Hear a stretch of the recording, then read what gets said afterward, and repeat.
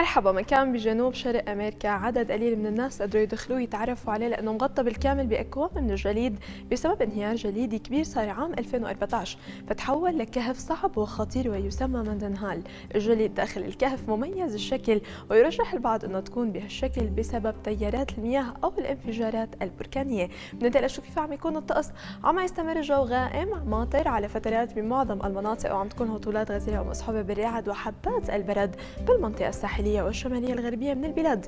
كما عم تستمر درجات الحرارة بانخفاض لتصير أدنى معدلاتها بحوالي درجتين لأربع درجات مئوية.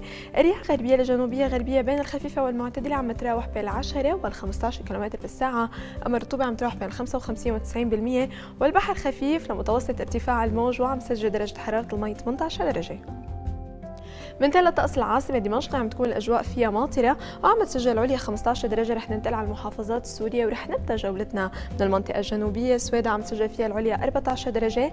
درعا عم تسجل الصورة 7 درجات. والطقس ماطر. أما بالقناطرة عم تراوح بين 4 و 12 درجة. بننتقل للمنطقة الوسطى على حمص وحما بحمص عم تسجل العليا 15 درجة. والأجواء مكفية ماطرة. أما بحما عم تسجل الصورة 5 درجات. بالمنطقة الساحلية بطرطوس عم تسجل العليا 16 درجة. والطقس ماطر. أما باللاذقية عم تراوح بين 12 و 16 درجة وبلواء اسكندريه عم تسجل العليا كمان 16 درجة. بالمنطقة الشمالية بإدلب عم تسجل فيها العليا 15 درجة والطقس مكفي ماطر. أما بحلب عم تسجل الصغرى 6 درجات. أخيرا رح ننتقل على المنطقة الشرقية على رقة اللي عم تسجل فيها العليا 15 درجة والطقس فيها ماطر. أما بالحسكة عم تراوح بين 10 و 18 درجة وأخيرا بدير الزور عم تسجل فيها الحرارة العليا 23 درجة.